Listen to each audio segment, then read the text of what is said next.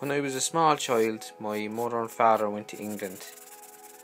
When my mother and father were over in England, my mother got pregnant with me.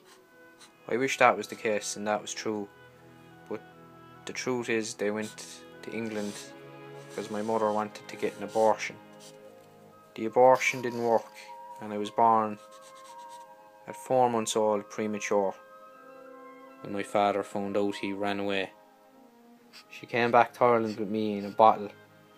My mother hid me under the bed every night in the bottle and no one would hear because I couldn't cry when I was inside in the bottle. My mother didn't want anyone to know about me because she was a nun. After about a year, I got too big for the bottle. One day the bottle cracked born. I can remember my mother looking at me on the floor crying. That was the last time I seen my mother. My grandfather was the only other person living in the house. He had dementia at the time. He took me on under his wing, taught me everything I know.